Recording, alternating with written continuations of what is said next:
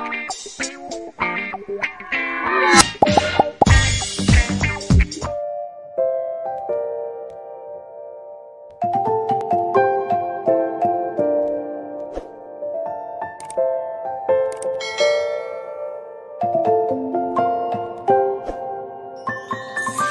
many places still undiscovered, but you're stuck in a blast